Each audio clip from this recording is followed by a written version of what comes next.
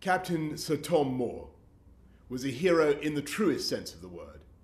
In the dark days of the Second World War, he fought for freedom, and in the face of this country's deepest post war crisis, he united us all. He cheered us all up, and he embodied the triumph of the human spirit.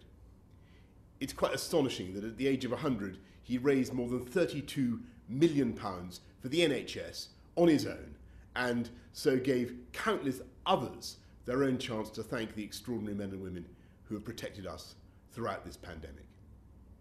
He became not just a national inspiration, but a beacon of hope for the world. Our thoughts today are with his daughter Hannah and all his family, and his legacy will long live after him.